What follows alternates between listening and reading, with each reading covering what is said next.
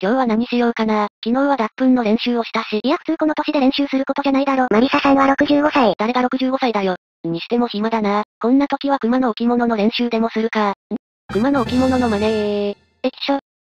暇だからレイムでも呼ぶか。あ、レイム話しかけんな。えへへ。うんち。皆さん、こんにちは。ちはこんちゃどうも、茶番と実況の切り替え早い系 VTuber、レイムちゃんです。この間言われたんだよな。てなわけで今回もスコアタやっていきましょうか。今回のスコアタは種族制限がないということで、ワクワクに発注。スコアアップに確定アカウンを採用しました。でもってブルジョアループだね。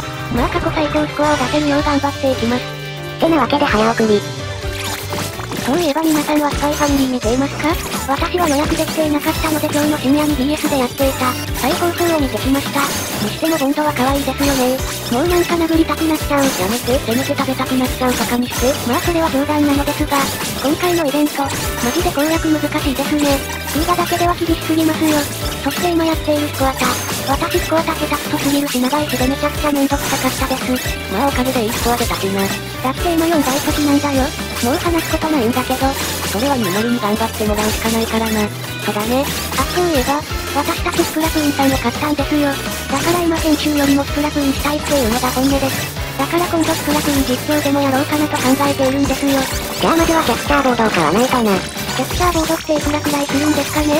まあ5000円もあったらいいのができるのでは？まあ検討しておこうと思います。そして長寿 EX コイン回すべきなんかな？なんか Twitter でアンケート取ったところ別に回さなくてもいいみたいな感じだったんよな。まあネタにはなるので10連だけ回すかもです。そしていい加減編集に追ってきたので、ラストまでカットしますか。というわけで 3P が終わりました。本当にラストじゃねえか。まあリアルの時間的にも忙しいからね。てなわけで最終スコアは59億だね。まあまあいいスコアかなまあお前にしては頑張った方だな。最後に質問なのですが、おすすめの BGM ってありますか？今後ろで流れているようなのだな。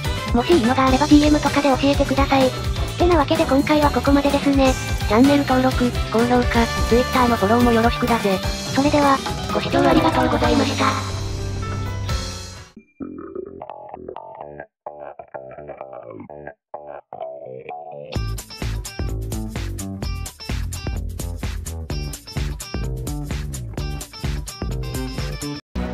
ってことで、今回挨拶しかしてないゆうまるです。